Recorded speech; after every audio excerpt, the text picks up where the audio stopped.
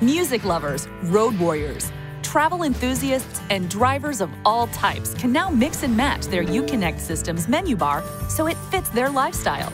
Now, with the all-new drag and drop menu bar, you can easily customize your dashboard with the features and services you use most. Simply press the Uconnect icon on the main menu bar to view all of the available apps.